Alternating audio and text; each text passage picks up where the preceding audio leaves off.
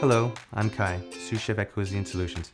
Today I'm going to show you how to prepare a poached egg sous vide. There are lots of ways to serve your perfect egg, but today we're going to serve ours on top of avocado toast. In addition to your water bath, you'll need a circulator, colander, slotted spoon, and eggs, plus toast and avocado for serving.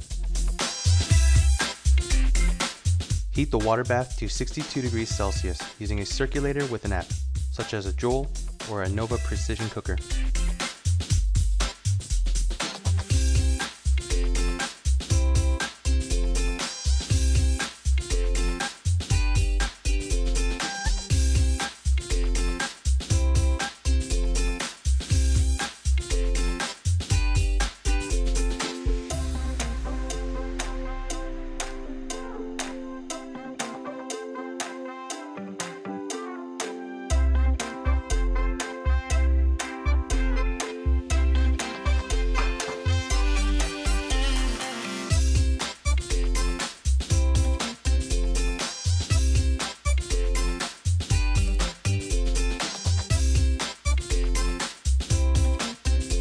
With this video, you've learned how to prepare a perfect sous vide egg.